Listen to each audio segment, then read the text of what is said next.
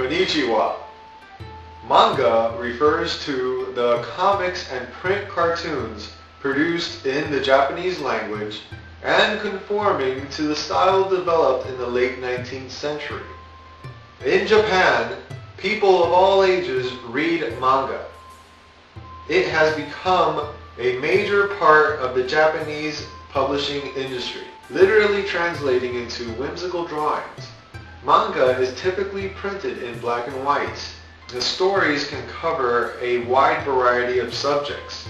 Action, adventure, sci-fi, fantasy, horror, sports, and many others.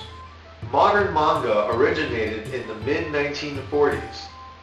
Astro Boy being one of the earliest and most famous examples.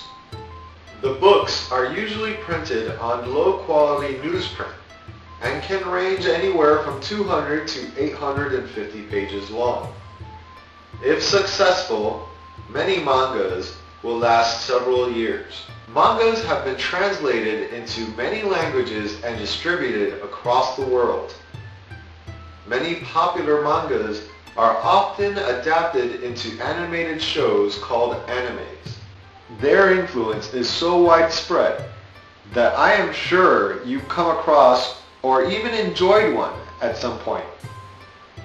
And if not, I invite you to. Arigato.